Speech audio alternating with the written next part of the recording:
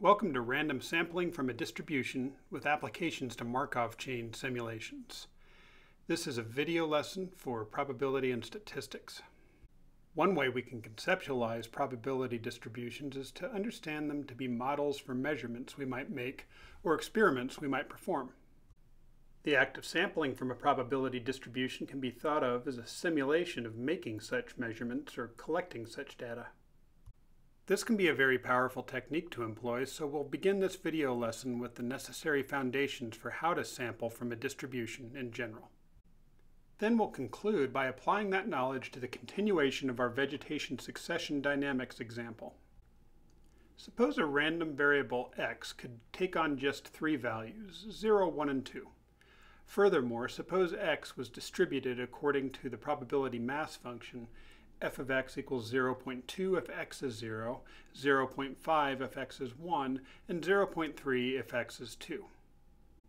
When we say we'd like to sample from the distribution f of x, what we mean in principle is that we'd like to measure a set of values of x such that the relative frequencies of each value, 0, 1, or 2 in our set of measurements, closely approximate the theoretical probabilities of 0.2, 0.5, and 0.3 defined by f of x. With this in mind, there are several ways we could go about sampling from f of x in practice. However, one of the simpler approaches would be to execute the following steps. Create an ordered list D that consists of n numbers. Of these, 0.2n have the value 0, 0.5n have the value 1, and 0.3n have the value 2. If n is sufficiently large, it is acceptable to round these counts to the nearest integer. Then, randomly select with replacement a set of k equals 25 of the numbers from the list D. This results in a set X that consists of values 0, 1, and 2 distributed according to f of x. Of course, this is really just pushing the problem down the road a little bit. In order to accomplish the second step of this process, we need a way to randomly select values from a list. This could be done mechanically. For instance, you could write each entry in the list on a scrap of paper, fill a hat with all your scraps of paper, and then randomly select scraps from that hat with replacement. There are also algorithmic ways of accomplishing this task. One of them, known as a linear congruential generator, LCG, is described in our text. The purpose of learning about this algorithm is to build some intuition about what is actually going on when we randomly sample from a probability distribution. There are also commercial random number generators that automatically sample values from a given probability distribution. In practice, it's really best to just use these. For now, our main focus will remain on randomly sampling from a probability distribution as a concept. We'll now carry out the process of sampling from our simple distribution f of x in an example involving a fairly small data set in order to illustrate it more concretely. Our goal is to generate a random sample of k equals 25 numbers that are distributed approximately according to the distribution f of x equals 0.2 if x is 0, 0.5 if x is 1, and 0.3 if x is 2. To do so, we construct a, D, a set D that serves as a population and consists of n equals 1,000 numbers. Of these, 0.2n, or 200, have the value 0. 0.5n or 500 have the value 1 and 0.3n equal 300 have the value 2. The set D is the population we'll sample from. Next, we use any algorithm that suits us in order to produce a set I that consists of k equals 25 indices ranging in value from 1 to n equals 1000. LCG could be an option here. In any case, our indices might turn out to be the set that looks like i equals 41, 111, 613, 798, and then several more until you get to the value 745. What's important is that these numbers were selected randomly from the list, 1 through 1000. They appear with equal probability, and they might appear with repetition. These numbers indicate that we should select the 41st, 111th, 613th, 798th, etc. numbers from our population D. Some indices have been omitted from our list for, for brevity. If we do that, we obtain the following sample from D, and it consists of the 41st number in D, the 111th number in D, the 613th number in D, the 798th number in D, on up through the 745th number in D. And in practice, that set of numbers looks like this sequence of zeros, ones, and twos that we're looking at now. Because we've constructed D so that it consists of 20% zeros, 50% ones, and 30% twos, and because we've selected our indices of selection from the set 1 through 1000 with replacement and with equal probability, we are then ensuring that the numbers in this sample x are approximately distributed according to the probability mass function f of x. There's no need to take that statement, however, at face value. We can explore it experimentally by plotting the numbers in our sample in a relative frequency histogram and comparing that histogram to the theoretical histogram for our probability distribution f of x. And that's what we're looking at on the screen right now. And we can see that at least qualitatively, the histograms line up reasonably well. There's some minor differences in the amplitudes of each of the bars, but the shape in an overall sense is correct. So this approach seems to have some promise. Our approach will perform better with larger samples than k equals 25. This can be seen simply by regenerating a new set of indices i and using them to select a new sample. If k stays as small as 25, not all index values will lead to histograms that agree with f as well as the one we've seen. We'll see this in the technological companion to this video lesson. There is nothing unique about the probability mass function f of x that makes it more suitable to be sampled from than any other probability distribution. For instance, we could have just as easily sampled from the binomial distribution with n equals 7 trials and a probability of p equals 0.67 of observing a preferred outcome on any given trial. This would have resulted in a sample of data with a relative frequency histogram that approximated the theoretical probability mass function of the binomial distribution. If we were to actually carry out this experiment, the empirical histogram of the relative frequencies of the sample and then the theoretical histogram for the binomial distribution itself might compare somewhat like the two histograms that we're seeing in this diagram. Well, we're at the point now where we can apply this concept of sampling data from a probability distribution to something really pretty practical. And that application is going to be to simulating dynamics with a Markov model, in particular with a discrete time Markov model. So we're going to return to our example involving succession dynamics in vegetation and desert plant communities. So while studying the various methodologies for rational inquiry, recall that we developed a model for those succession dynamics in desert plant communities. What that model told us was that if we wanted to determine the probability of observing a landscape to be dominated by one of three possible vegetation categories shrubs, grasses, or bare land at some future point in time, then what we would need to do is compute or measure those three probabilities for the current point in time and multiply them on the left by the so-called transition probability matrix.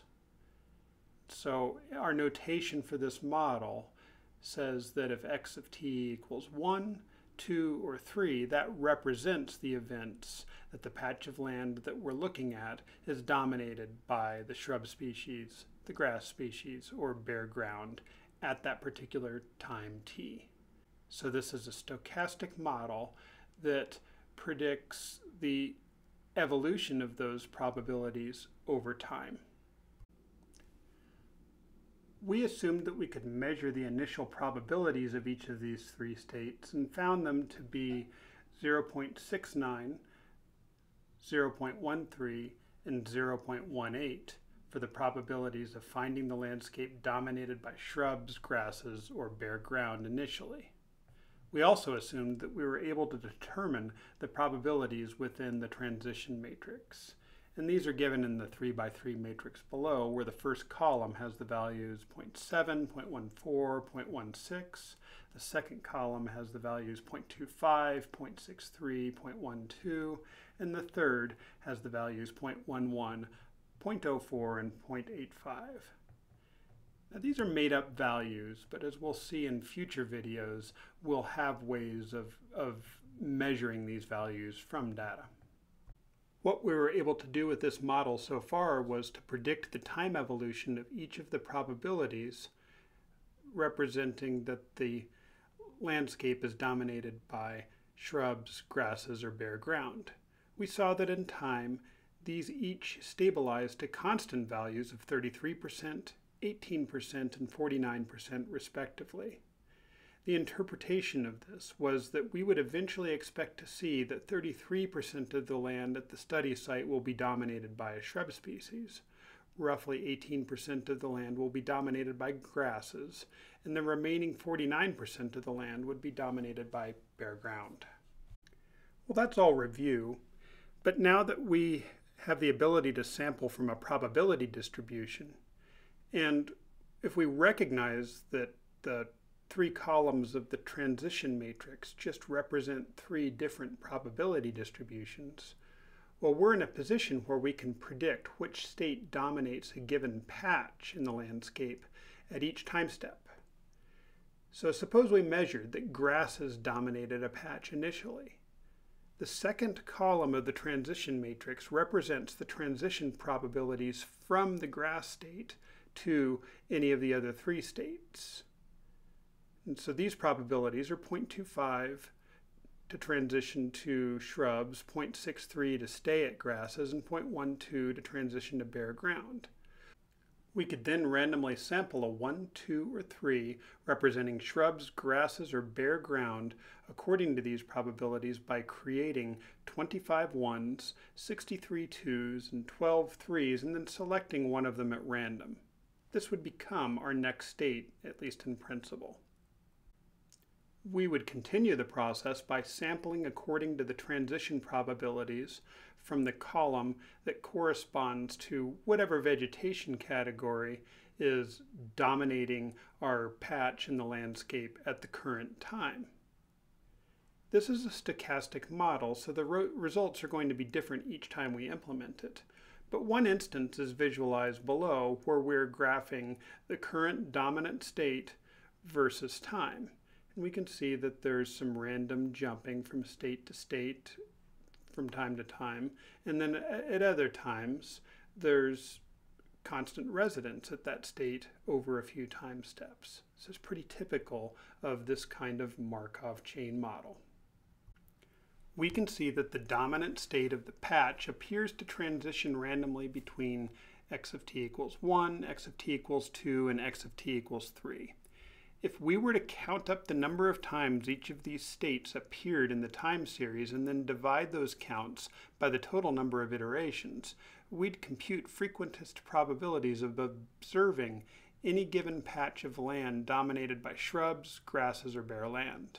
These probabilities would approach the values of 33%, 18%, and 49% that we saw earlier if we observed our time series for a long enough period of time.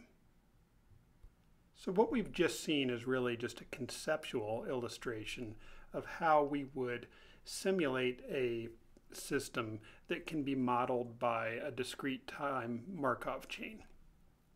In practice, we wouldn't really sample so mechanically by imagining creating so many ones, twos, and threes in a set and just, just drawing them from a hat.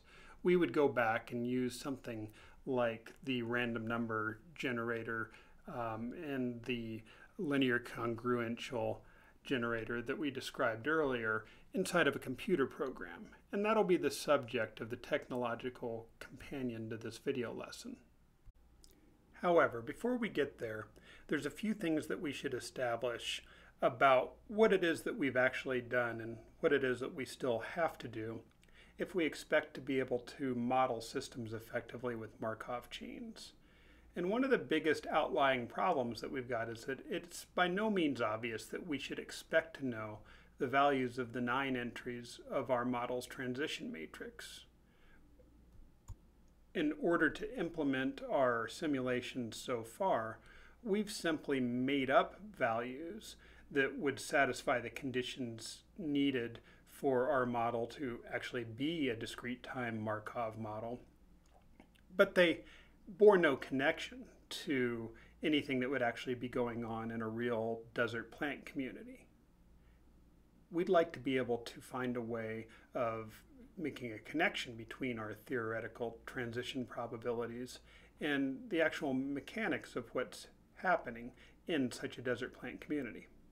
The approach we're going to spend our time on involves learning estimates for the values of the transition probabilities from large amounts of observations of the system being modeled over time. We will need to learn quite a bit about parameter estimation before we can understand that approach. But the general idea is that we will observe a long time series representing the states that one instance of our system can be found in from iteration to iteration, and then use that time series, use information that we can extract from that time series to estimate the true values of the transition probabilities. Now, for quite some time, I've been throwing around terms like Markov chain and Markov model, and it's really time that we have a careful formal definition for what that is. So what we're working with is known as a discrete time Markov model, and I'm defining it here. Let x sub t be a sequence of random variables that represent the state in which a system is observed at time t. Assume that there are a countable number of possible states the system could be in. If the probability of the random variable x sub t plus 1 given x sub 0, x sub 1, x sub 2, all the way up through x sub t, is just equal to the probability of x sub t plus 1 given x sub t, then we say that x of t is a Markov chain. In other words, the state we observe the system in at a future time depends only on the state it is currently in. So it's called the Markov property and it's one of the things that we need to have in place for our model to be a discrete time Markov model. Moreover, if p of x sub t plus 1 given x sub t is equal to x sub t given x sub t minus 1, and that's true for all values of time that we're studying our model over, then x of t is called a stationary Markov chain because the transition probabilities p of x sub t plus 1 given x sub t are independent of time. We can place our last example in the context of this definition. The random variable x sub t had three possible values, 1, 2, and 3, shrubs, grasses, and bare ground. p of x sub t plus 1 given x sub t is simply a compact notation for referring to each of the nine transition probabilities. Since each transition probability predicts the next state using knowledge only of the previous state, our model is a Markov chain. Since those predictions are made over discrete increments in time, our model is a discrete time Markov chain. Finally, our model is also stationary because the transition probabilities are just constant numbers. They're all independent of time. Therefore, our model really fits into the context of a stationary discrete time Markov model.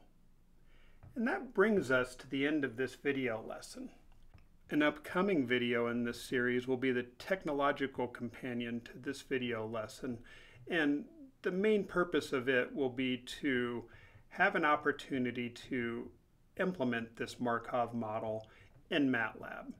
That way we'll be able to experiment with what it's like in practice to use a Markov chain model to simulate a time series of states that represent the succession dynamics of different vegetation classes in a desert plant community like the one that we've been studying in our sequence of examples. So I hope you found this theoretical background useful and want to thank you for watching and hope you'll be able to join us with the next technological companion.